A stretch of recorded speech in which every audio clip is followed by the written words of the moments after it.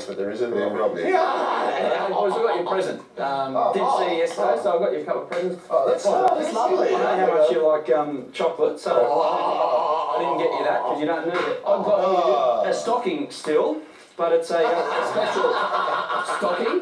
It's a Con the Fruiterer's um, stocking with some uh, beautiful vegetables in I it. don't like so- mushrooms. You. Oh. Robbie, I didn't leave you out, of Oh, course. of course. I got you a nice framed photo.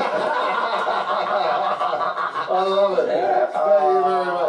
Oh, How you you, going, mate? Oh, that's very nice. That very And we'd like you to be involved in uh, Match Day Saturday today as well. Don't forget the uh, the tweets. They're going uh, all afternoon. The boys are going to get involved. Uh, the Twitter, we've got it right here on the desk. Hashtag Fox Football right here at the desk. We're at Hyundai MDS, but hashtag Fox Football to be involved in the conversations. Don't forget the email address as well, foxsports.com.au forward slash football. Before we move on and get to Bluetongue Stadium, a reason why I didn't give you the chocolate there, Bozza, was a reason you caught up with Pedj Bojic, and we saw her on the pre-game Yes. a few nights ago. Uh, Robbie, what did you make of uh, Bozza's appearance